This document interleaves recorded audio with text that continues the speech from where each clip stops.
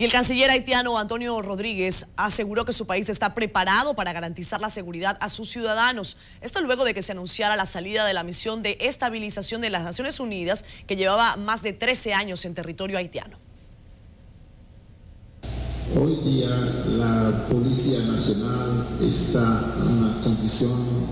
para hacer su trabajo, para dar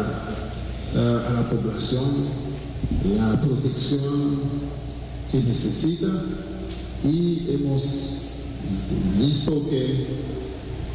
no, no, voy a decir que, no es necesario, pero podemos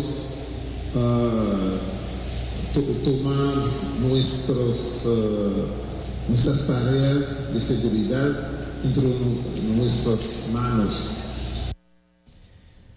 bueno, tras sostener un encuentro con su homólogo dominicano Miguel Vargas, ambos acordaron reestructurar y dinamizar la Comisión Mixta Bilateral para poner en marcha acuerdos logrados entre ambos gobiernos. También se anunció que desde hoy el gobierno haitiano comenzará a entregar más de 10 mil documentos a sus ciudadanos en República Dominicana.